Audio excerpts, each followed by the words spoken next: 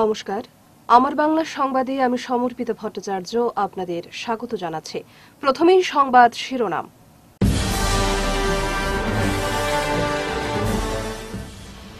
সোমবার থেকে বাজেট অধিবেশন, বিধায়কদের যাতায়াতে গল্ফ কার্ড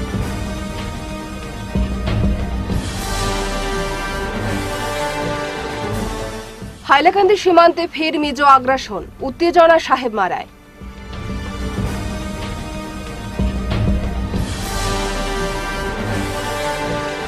আড়াই মাসেও সন্ধানহীন কিশোরী প্রিয়াঙ্কা ময়রাপাইবির থানা ঘেরাও।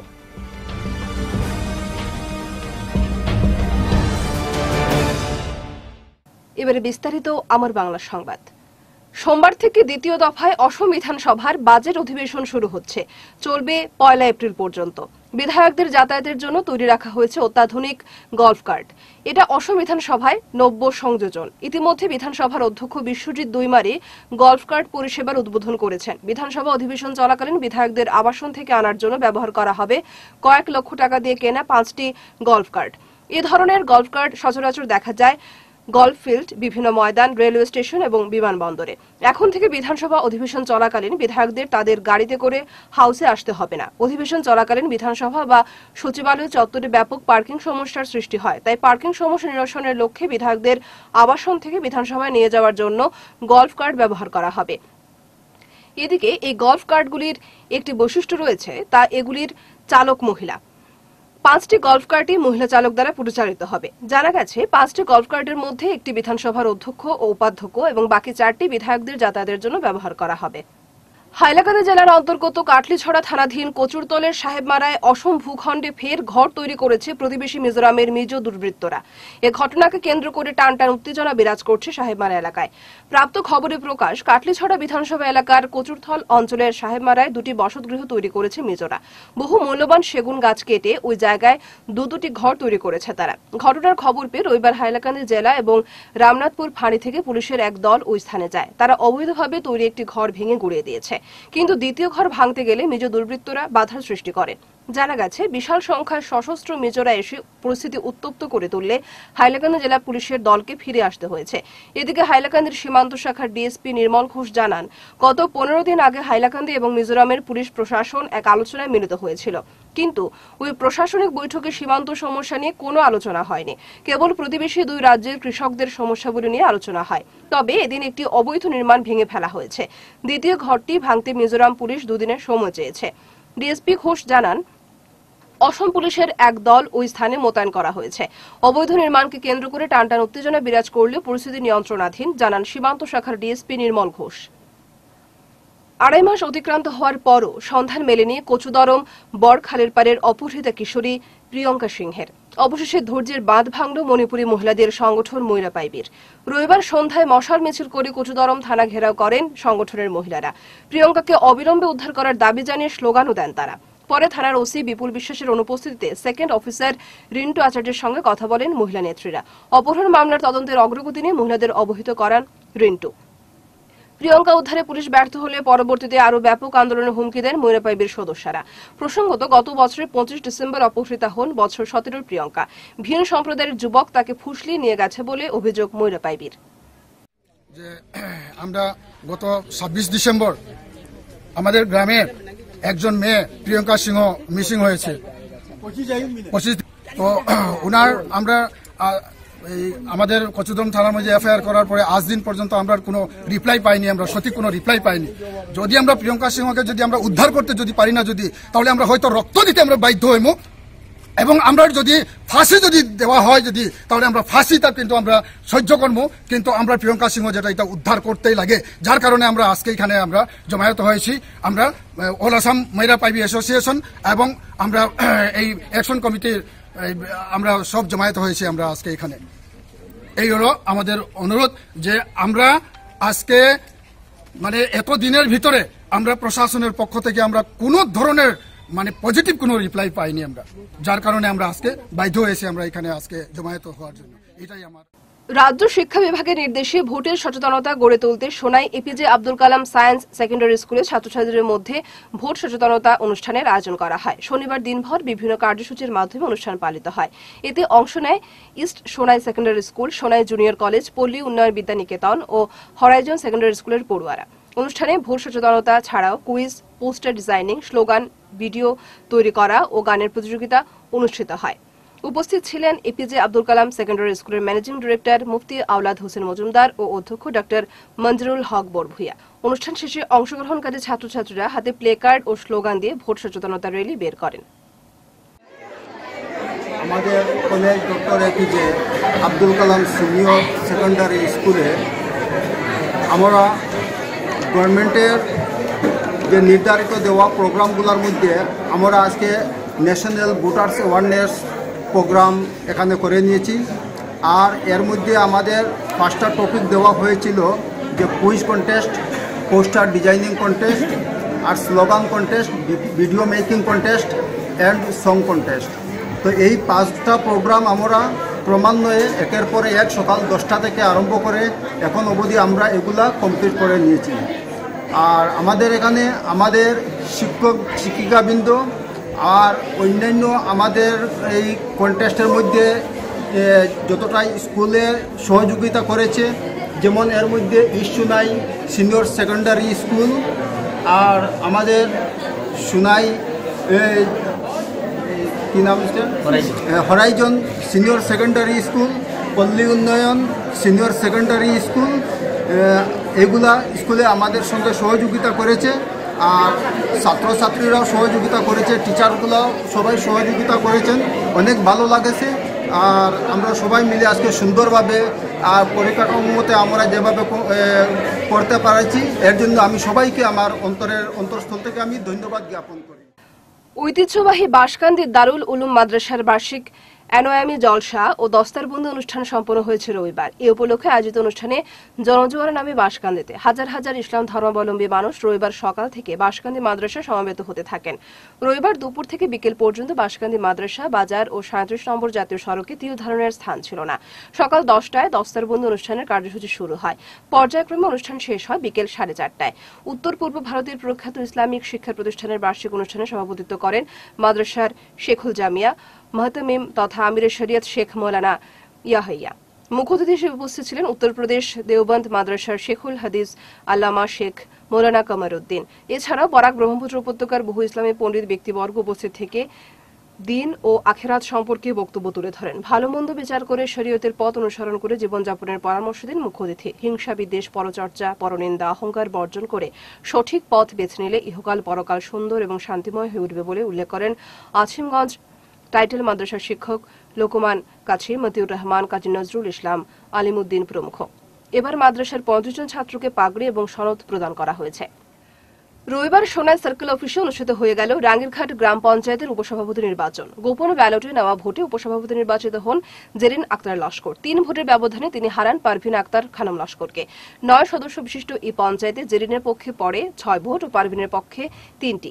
দুই সন্তান নীতির কোপে পড়ে এবছরের জানুয়ারিতেই পদ খুঁয়েছিলেন জিপির উপসভাপতি জুমি বেগম বরভুইয়া ফলে খালি হয়ে পড়েছিল উপসভাপতির পদ।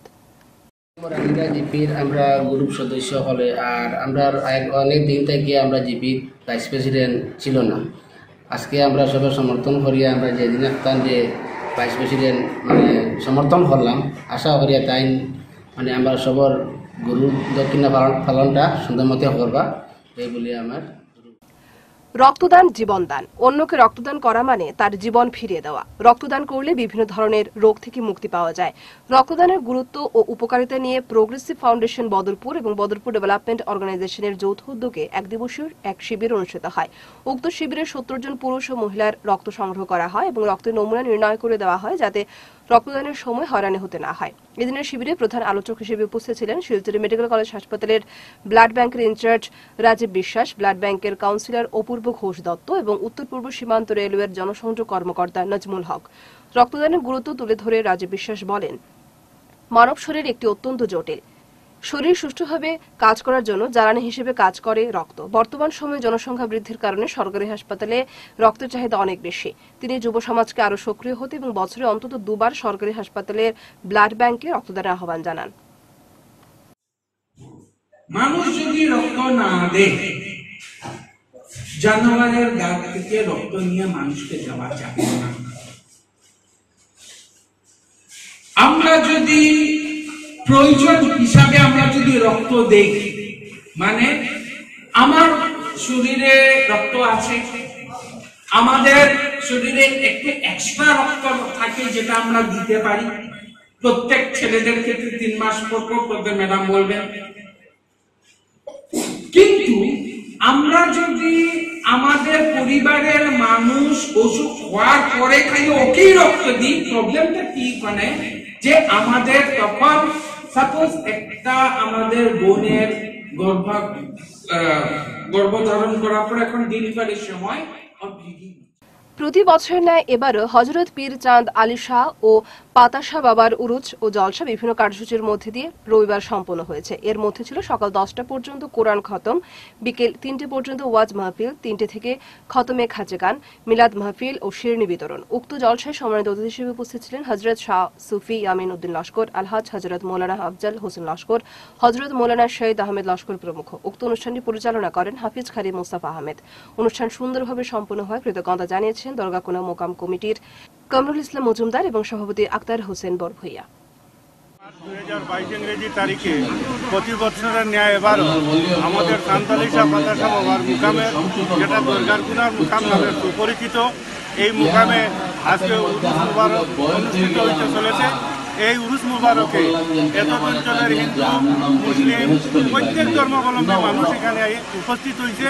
প্রতি বছর এইভাবে আসে এবং আগামী দিনেও এইভাবে আসার লাগিয়া আমরা সবাই আহ্বান করি এবং এই অনুষ্ঠানটা পরিচালনা করতে আমাদেরকে এই অঞ্চলের মানুষ সর্বপ্রকার সাহায্য সহযোগিতা করেছে এই সাহায্য সহযোগিতা করার জন্য আমরা উক্ত মোকাম কমিটির পক্ষ থেকে সবাইকে আন্তরিক ধন্যবাদ জ্ঞাপন করি। আসসালামু আলাইকুম। আগামী তিন এপ্রিল অনুষ্ঠিত হতে যাচ্ছে বদরপুর আল আমিন সিনিয়র সেকেন্ডারির ভর্তি পরীক্ষা তথা আলামিন কমন এন্ট্রান্স টেস্ট। সফলভাবে এক বছর পার করে এবার দ্বিতীয় শিক্ষাবর্ষের ভর্তি পরীক্ষা শুরু করেছে আলামিন সিনিয়র সেকেন্ডারি। আবার এই পরীক্ষায় সেরা পাঁচ ছাত্রকে পাঁচটি ট্যাবলেট পুরস্কার হিসেবে প্রদান করা হবে। শুধু তাই নয়, এই পরীক্ষায় যারা যোগ্য বিবেচিত হবে, তাদের রেজাল্ট এদিনই ঘোষণা করা হবে এবং এদিনে তাদের এডমিশন নেওয়া হবে।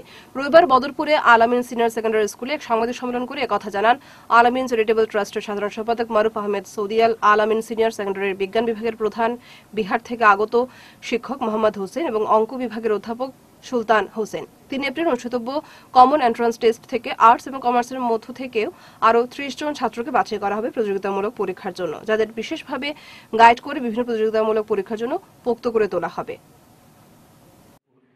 বরাকের একটা প্রসিদ্ধ স্কুল হিসাবে সকলের কাছে পরিচিত। সেই সিনিয়র সেকেন্ডারি স্কুল আগামী তিন এপ্রিল দু হাজার বাইশ রবিবার সকাল এগারোটা থেকে আলামিন কমন এন্ট্রান্স টেস্ট হিসাবে হায়ার সেকেন্ডারি প্রথম বর্ষে প্রথম বর্ষে ভর্তি পরীক্ষা নিতে চলেছে। আমি গোটো বরাকে তথা ত্রিপুরা সকল অভিভাবকবৃন্দ তার সঙ্গে ছাত্রছাত্রীদেরকে বিশেষভাবে অনুরোধ জানাচ্ছি, আমন্ত্রণ জানাচ্ছি যে আপনারা এসে আগামী তিন এপ্রিল দুই হাজার বাইশ ইংরাজি রবিবারে আলামিন একাডেমিতে এই ভর্তি পরীক্ষায় অংশগ্রহণ করে নিজের যোগ্যতাকে একবার প্রমাণ করে যান। নিজেকে আলামিন আমাদের যে কমপ্লেক্স সেই কমপ্লেক্স একবার দেখে যান। যদি শৈক্ষিক পরিবেশ এবং সুন্দর পরিবেশ থাকে, আপনাদের পছন্দ হয়, তাহলে এসে এখানে অ্যাডমিশন নিয়ে নিতে পারেন। কারণ ওই দিনই বিকাল দুইটার সময় রেজাল্ট ডিক্লেয়ার করা হবে। প্রথম থেকে পঞ্চম পর্যন্ত সবাইকে একটা ট্যাব দেওয়া হবে, ট্যাবলেট দেওয়া হবে এবং যারা, বাকি যারা অভিজ্ঞতা অর্জন করবে, ওই দিনই দুইটা থেকে অ্যাডমিশনের প্রসেস আরম্ভ করা হবে। আগামী দশ এপ্রিল থেকে হায়ার সেকেন্ডারি আর্টস সায়েন্স কমার্সের ক্লাস ঈশান যোগ বিকাশের তত্ত্বাবধানে উধারবন্দ সাংবাদিক মঞ্চ ও যোগশ্রী মহাবিদ্যালয়ের ব্যবস্থাপনায় শনিবার উধারবন্দ ব্লক অডিটোরিয়ামে সম্পন্ন হলো একদিনের বিশেষ যোগ প্রশিক্ষণ শিবির। এতে জনের বেশি প্রশিক্ষার্থী উপস্থিত থেকে বিশেষজ্ঞদের কাছ থেকে যোগ শিক্ষার বিভিন্ন দিক জানতে পারেন। সেদিন সকাল নটায় প্রদীপ প্রজ্বলন করেন বিশিষ্ট শিক্ষাবিদ, শাস্ত্রীয় পণ্ডিত তথা সামাজিক সংগঠন বিবেক বাহিনীর প্রাণ পুরুষ সুখময় ভট্টাচার্য। উপস্থিত ছিলেন সৌমিতা নাগধর, বলাইনাথ ভাস্বতী পাল, লিপিকা ভট্টাচার্য, অরূপা চক্রবর্তী, কল্যাণ চন্দ্রধর অমিতাভ ভট্টাচার্য, কৌশিক চৌধুরী, সুকুমার নাথ, আনন্দ দাস। সুতপা পাল দাস, শিবিরের শুরুতে সুখময় ভট্টাচার্য, সনাতন ভারতবর্ষের যোগচর্চা ও অধ্যাত্মপূর্ণ জীবনের উপর আলোকপাত করে বলেন, মানুষ যদি নিরোগ থাকতে চায়, তাহলে যোগকে অবলম্বন করতেই হবে। কেবল ডাক্তারের শরণাপন্ন হয়ে সুস্থ সমাজ গঠন সম্ভব নয়। সন্ধ্যা সাতটা পর্যন্ত চলা শিবিরে যোগের বিভিন্ন দিক নিয়ে হাতে কলমে প্রশিক্ষণ দেওয়া হয়। এতদ অঞ্চলের সমস্ত ধরনের জনসাধারণকে তাদের শারীরিক, মানসিক বিকাশের জন্য শারীরিক, মানসিক সুস্থতার জন্য যোগ সম্পর্কে অবগত করানো। এই উদ্দেশ্য নিয়ে আজকে সারা দিনব্যাপী এই অনুষ্ঠানের আয়োজন করা হয়েছে, যাতে যোগের যোগ কী এবং যোগের বিভিন্ন দিক নিয়ে আলোকপাত করেন বিভিন্ন শিক্ষক, শিক্ষিকা চিকিৎসক আমরা আশা রাখি যার ফলে আজকে সারাদিন ধরে যারা এগুলো শিক্ষা করলেন, শিশু থেকে শুরু করে বৃদ্ধ পর্যন্ত, তারা এই কর্মশালা থেকে অনেকটাই উপকৃত হবেন। শিলচর শহর অঞ্চলে সোমবার থেকে শনিবার পর্যন্ত, অর্থাৎ চোদ্দ থেকে উনিশ মার্চ পর্যন্ত কোভিশিল্ডের প্রথম ও দ্বিতীয় ডোজের টিকা এবং কোভিশিল্ডের অনস্পট বুস্টার ডোজ তিনটি সেন্টারে দেওয়া হবে। এছাড়া পাঁচটি সেন্টারে পনেরো থেকে আঠারো বছর বয়সীদের কোভ্যাক্সিন টিকাও দেওয়া হবে। যে সকল সেন্টারে কোভিশিল্ডের প্রথম দ্বিতীয় ডোজ টিকা দেওয়া হবে, সেগুলি হল Silchar trunk road, urban PHC পিএইচসির বিপরীতে থাকা সঞ্জীবনী কেন্দ্র, অম্বিকাপুরী দুর্গাশঙ্কর পাঠশালা এবং এস এম দেব সিভিল হাসপাতাল। এই কেন্দ্রগুলিতে অনস্পট কোভিশিল্ডের বুস্টার ডোজ দেওয়া হবে। এছাড়া সঞ্জীবনী কেন্দ্র, অম্বিকাপুরী দুর্গাশঙ্কর পাঠশালা এবং এস এম দেব সিভিল হাসপাতাল সহ সোমবার চোদ্দ March Silchar Rangpur Paramount English academy স্কুলে এবং মালুগ্রাম কাছাড় হাই স্কুলে পাঁচটি সেন্টারে পনেরো থেকে আঠারো বছর বয়সীদের কোভ্যাক্সিন টিকাও দেওয়া হবে। শিলচরের শ্রম বিভাগের উদ্যোগে সাত মার্চ থেকে তেরো মার্চ পর্যন্ত পেনশন সপ্তাহ পালন করা হয়েছে। এই উপলক্ষে প্রধানমন্ত্রী শ্রমযোগী মানধন যোজনার প্রচারপত্র বন্টন করা হয়েছে বিভাগের পক্ষ থেকে। এই যোজনায় অসংগঠিত শ্রমিকদের জন্য পেনশন ব্যবস্থা রয়েছে। এতে লাভবান হতে হলে অসংগঠিত শ্রমিকদের আধার কার্ড এবং ব্যাংকের তথ্যপাতি সহ নিকটবর্তী শ্রমিক কল্যাণ বিভাগের কার্যালয় অথবা নিকটবর্তী অরুণোদয় কেন্দ্রে যোগাযোগ করা যায় বলে প্রচারপত্র বন্টন করা হয়। অসংগঠিত শ্রমিক যেমন রিক্সাওয়ালা, ঠেলা শ্রমিক, নির্মাণ শ্রমিক, ইটভাটার কর্মী, পরিবহন কর্মী, অঙ্গনাদি কর্মী, ঘরের কাজে নিয়োজিত কর্মী, টেইলার এই ধরনের পেনশন কর্মসূচির জন্য আবেদন করতে পারেন। এতে বয়স হতে হবে আঠারো থেকে চল্লিশ বছর এবং মাসে আয় হতে হবে পনেরো হাজার বা তার কম। কালীগঞ্জ খাগাইল পূর্ত সড়কের প্রধানমন্ত্রী গ্রামীণ সড়ক যোজনার কাজে ব্যাপক দুর্নীতি চলছে। এবার হাতে রাতে দুর্নীতি ধরে ফেলেছেন কালীগঞ্জের জনতা। তাই বরাদপ্রাপ্ত ঠিকাদারকে জনগণের চাপে পড়ে রাতে বসানো পিচ সকালে সরে নিতে হয়। কালীগঞ্জ খাগাইল পূর্ত সড়কের বাজার এলাকার সড়কের সংস্কার কাজে দুর্নীতি অভিযোগ এনে দুদিন আগে পথে নেমে তীব্র প্রতিবাদ জানিয়েছিলেন স্থানীয় জনতা। জনতার দাবি ছিল যে রাস্তার সংস্কারের নামে ব্যাপক কারচুপি করা হচ্ছে। বরাদপ্রাপ্ত ঠিকাদারের কাছে এই কারচুপির কথা অবগত করা হলে প্রথমে তিনি পাত্তা দিতে চাননি। প্রধানমন্ত্রী গ্রামীণ সড়ক যোজনা প্রকল্পের অধীনে তিন কোটি সাতষট্টি লক্ষ টাকা বরাদ্দ করা হয়েছে। কিন্তু জনগণের অভিযোগ, এই সড়কের এখন যতটুকু কাজ হয়েছে তাদের ব্যাপক দুর্নীতি রয়েছে। শেষ করার আগে বিশেষ বিশেষ আমার বাংলা খবর, আরও একবার।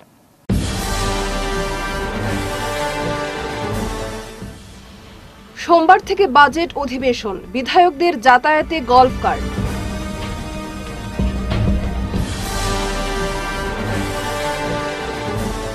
হাইলাকান্দি সীমান্তে ফের মিজো আগ্রাসন। উত্তেজনা সাহেব মারায়।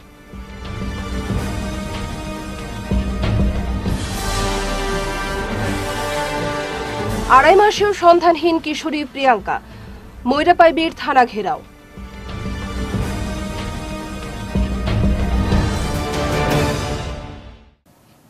এখনকার মতো আমার বাংলা সংবাদ এ পর্যন্তই। নমস্কার।